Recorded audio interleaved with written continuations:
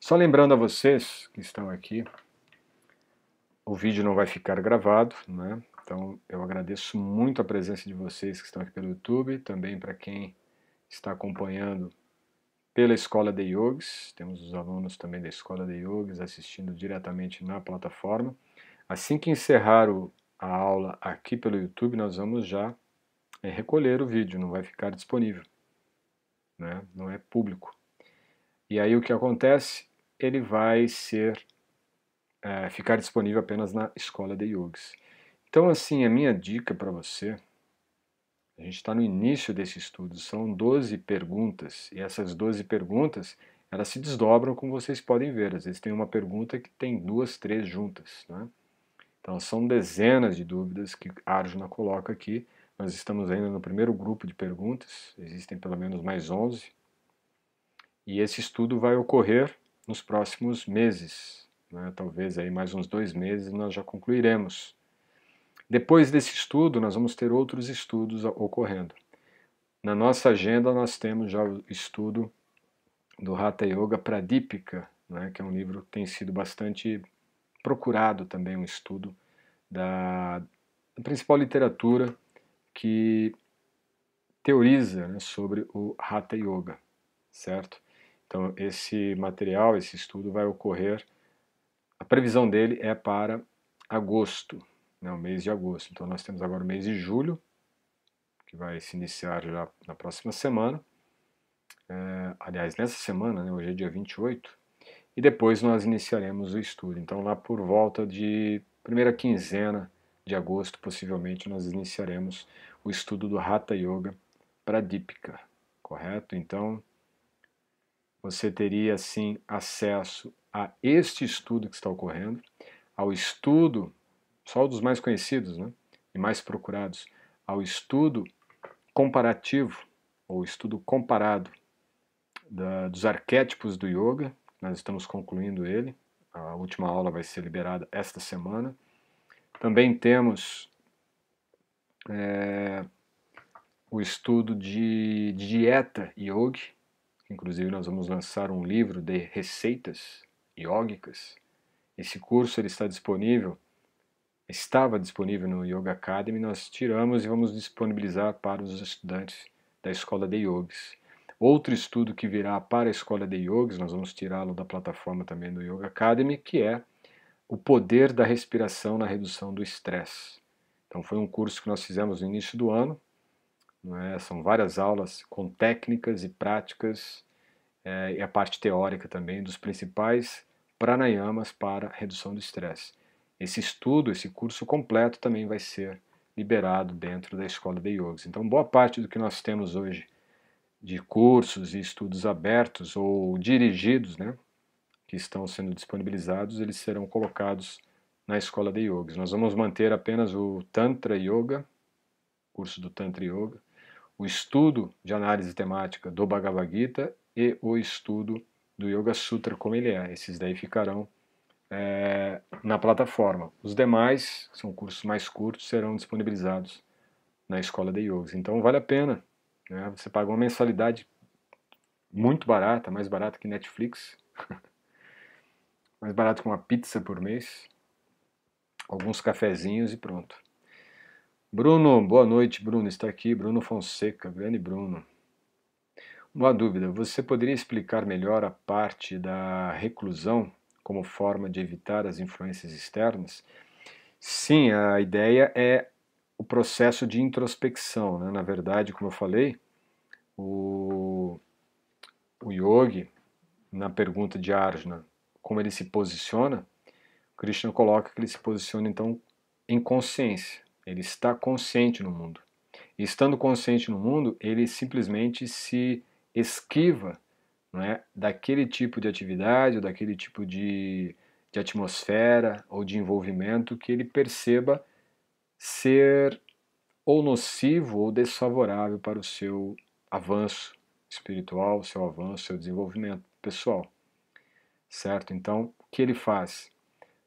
De forma bem prática, imagine que você está diante de uma situação, aquela situação você sabe que ela foge, pode fugir do seu controle, então o que acontece Um exemplo, eu posso mentalizar algo. Eu posso mentalizar algo para onde minha atenção vai se desviar, não mais para o objeto externo, para o objeto do sentido, né, que de repente pode ser um som, pode ser um, um, um aroma, pode ser qualquer um dos sentidos sendo atraídos por aquele objeto. Então, em vez de me de me recluir, né, ou de me voltar para dentro para tentar anular aquele objeto, eu simplesmente tiro minha atenção daquele objeto e coloco a minha atenção naquele objeto que eu tenho mentalmente. Tá? Aí usando então um processo mais é, técnico da meditação, por exemplo, ou mesmo como tenho pratyahara, que é a introspecção, você tem depois dharana, que é a concentração. Então você simplesmente tira a sua concentração do objeto sensorial e coloca a atenção no campo da mente, no campo transcendente. Certo? Assim a gente consegue evitar a força né, de, é, de atração, de condicionamento que os objetos sensoriais externos podem manifestar de forma a nos influenciar. Ficou claro?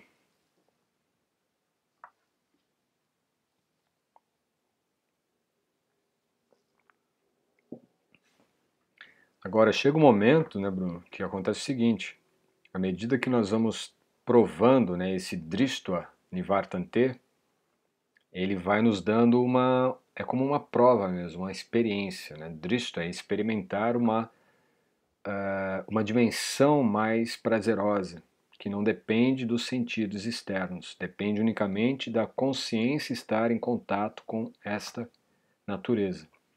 Então imagine que você tem ali um um processo muito utilizado para a mentalização. Você mentaliza um ambiente, um lugar. Imagine de repente um local belo, um jardim, um, um, alguma coisa que você sinta ali. Aquilo serve para me centrar, correto? Então isso aos poucos vai desenvolvendo esse processo, essa, essa facilidade de transitar diante do objeto externo que pode te influenciar, trazendo atenção para aquele objeto interno que é aquela imagem, aquela situação, aquele mantra, correto? Interno. Então você consegue fazer esse processo semelhante ao da tartaruga que ele deu. Então a tentativa de reclusão é uma consequente e uma consequente falha. Posso entender como parte do processo desde que minha intenção seja divina? Sim, sim. Com, certeza. É, nem sempre né, nós conseguiremos ter é, sucesso desse processo de imediato. Até porque nós vamos ter durante um período né, é, o desenvolvimento mesmo desse mecanismo, né, se assim podemos chamar, mas esse processo de tirar o foco do objeto externo e trazê-lo para o objeto interno. Correto? Isso nós temos, por exemplo, no Yoga Sutra os termos, né? De do samadhi com semente e o samadhi sem semente. Né? Quer dizer, você estar fixo em alguma coisa externa, você tem algo de semente, algo que pode frutificar. Por exemplo, eu estou usando para meditação, para minha concentração, ir para um local é, que tenha de repente uma cachoeira, que tenha ali todo um contato com a natureza bastante favorável. Mas de repente eu uso esse ambiente durante a semana e vou, em certa ocasião, num final de semana está cheio de pessoas. O que vai acontecer? Eu estou usando uma situação ou um local, um objeto, uma condição externa para me focar. E agora estou com esse ambiente, esse esse bidya, né, esse samadhi externo comprometido. À medida que nós desenvolvemos a nossa capacidade interior de concentração, já não depende mais do ambiente externo. Então, onde você estiver, você estará presente, só que a sua consciência estará sempre num outro estado, é o estado de consciência transcendente. Certo? Então, pode ser que nós vamos ter momentos de, de dificuldade para realizar isto. E faz parte do processo, sem dúvida, porque nós vamos perceber onde eu estou falhando. Entende? Eu percebo que de repente eu preciso melhorar mais, é, fortalecer mais esse objeto interno de concentração. No yoga, né, no próprio Yoga Sutra, nós vemos ali que há essa, essa orientação de Patanjali, né, do Ishvara, Ishvara Pranidhanava. Né? O Ishvara Pranidhanava, na verdade, é justamente este direcionar-se. Né? O Pranidhana é o dedicar atenção, dedicar a vida, prana, dedicar a consciência a Ishvara, ou seja, direcionar a consciência a Ishvara certo? Então, é isso que ele está colocando aqui na resposta. Qual é a posição de um yogi, como ele se posiciona, ou como ele se senta? Ele se posiciona com consciência. Mesmo estando no mundo material, nos seus afazeres, ele não deixa com que as condições externas o prendam, porque ele mantém a consciência em Ishvara. Ou ele mantém a sua consciência voltada para dentro. E nesse voltar-se para dentro, na sua constituição com o seu eu, ou mesmo na sua constituição de relacionamento recíproco com Ishvara internamente, ele está mantendo esse estado de consciência na transcendência, está mantendo o estado de consciência equânime e está desfrutando de um prazer real e infindável. Então é isto que alimenta esta possibilidade né, de você, como exemplo da tartaruga, se voltar para dentro. Então não é uma negação da experiência, não é uma negação do mundo, não é uma, uma anulação né, das suas possibilidades de viver. Pelo contrário, né? a proposta toda que nós temos dentro do yoga, e esse verso acho que deixa isso talvez não tão explícito, né, mas daria para a gente falar mais sobre, é, é de viver a tua condição plena. E a condição plena não depende dos elementos externos, dos elementos sensoriais do mundo, mas da plenitude que você alcança dentro de si. Na verdade, nós já somos plenos. Né? Sat Chit Ananda é a condição, ou melhor, a composição substancial do ser, da alma, eterna, plena de conhecimento, plena de bem-aventurança.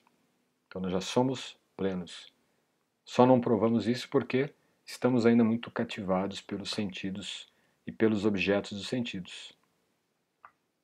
Então esse processo de introspecção ele vai nos dar justamente o posicionamento onde está o verdadeiro prazer. Agora, todo condicionamento que nós temos, ele vai implicar, sim, em termos certas condições, certas situações em que a falha vai ocorrer. Tá? Isso é normal, não, não pode deixar com que isto delimite, né? porque é como se nós estivéssemos remodelando a nossa mente, remodelando a, o nosso comportamento, né, os nossos hábitos, as nossas identificações. Ficou claro?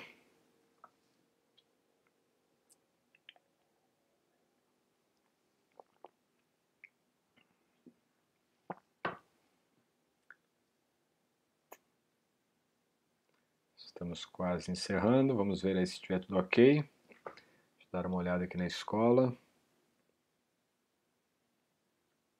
Tudo ok.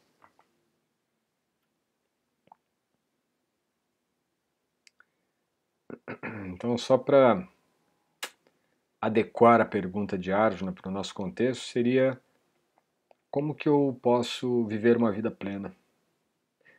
Né? Como que eu posso viver uma vida plena e estar em contato com o mundo sem me prender ao mundo, certo? E ainda assim cultivando meu desenvolvimento, e provando um prazer real na minha vida. Neuroplasticidade, exatamente. Né? Dentro da, da leitura na neurociência, uh, diríamos assim, a, o entendimento ou mesmo a hermenêutica, né, a interpretação que se tem desta readaptação é a neuroplasticidade. Seria mais ou menos como um resultado, né, o resultado final, o sintoma final desse processo todo, que ele vai se refletir no cérebro, tá? Mas eu digo mais mesmo uma reconfiguração mental, né, dos padrões mentais que está ligado aos sanskaras, que são os condicionamentos subconscientes.